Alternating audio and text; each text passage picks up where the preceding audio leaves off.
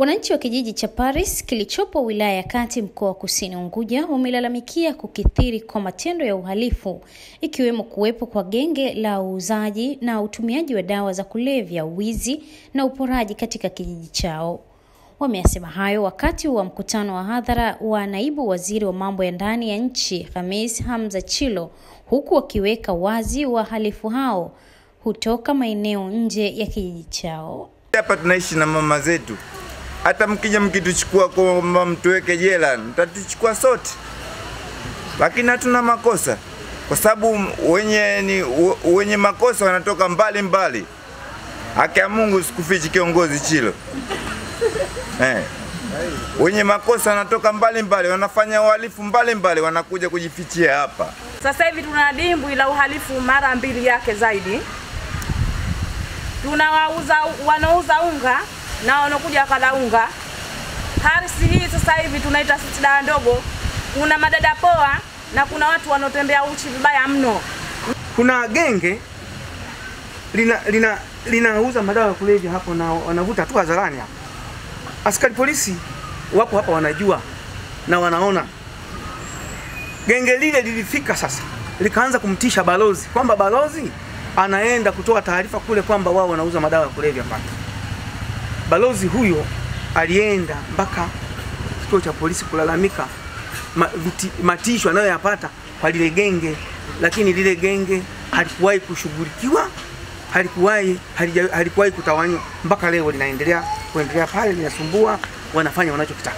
Akitoa majibu ya serikali baada ya kusikiliza kero hizo, naibu waziri wa mambo ya ndani ya nchi Hamis Hamza Chilo aliwataka wananchi wa maeneo hayo kuwafichua wahalifu wao na kutoa ushirikiano kwa jeshi la polisi. Yamesemwa watu wanatembea uchi hapa, wengine wamesema hapa hapa, wamesema hapa kuna bangi hapa, hapa kuna pombe hapa, hapa kuna unga hapa, mambo mengi yanafanyika hapa lakini wakaja wenzetu pamoja na yule rafiki yangu aliokuja hapa wadadi, akasema wanatoka sehemu nyingine wanakuja hapa. Akitokea mtu katoka mbali anakuja kufanya uhalifu hapa, msimwache, mumwambie nyinyi mnotoka huko mkaja mkafanya uhalifu hapa, mnatuingiza sisi kwenye matatizo. Mwisho wa siku sisi tunakuja huku tunapata mtihani, nyinyi mmetulia huko mjini mnapiga vitu vyenu. Kwa hiyo mkimgundukia tu mtu bana, huyu anakuja hapa ndo anatembea gauchi hapa mtaani kwetu, lakini sio hapa kama mlivyosema, kwa sababu mawazo mengi yanasema kwamba wanaokuja kufanya uhalifu hawatoki hapa, wanatoka huko. Sasa hii dhana tunakwenda kuichukua. Hata mimi nikikaa na hawa waheshimiwa, nitawaambia jamani, utafiti nilioufanya pale, wanaofanya vitendo vya uhalifu hawatoki pale.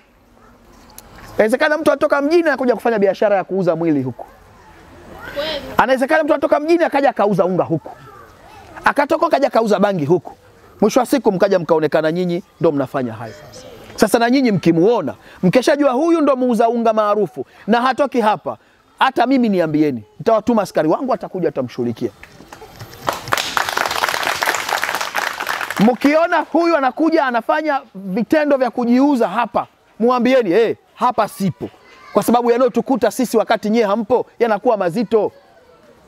Mmezungumza wengine kwa uchungu hapa kwa sababu ya mikukuteni. Mi niwaambie kwamba atakapotokea mtu akataka kufanya uhalifu katika eneo hili na siwa hapa, ili mradi tu anatutia doa na kututia sifa mbaya, mwambieni na mumchukulie hatua za kinidhamu na kisheria, sio mumpige, tutakuja kutengeneza balaa jingine. Tuandikie maoni yako chini ya video hii. Usisahau kulike, kushare na kusubscribe. KTV TZ Online, hakika hii ni fahari yetu.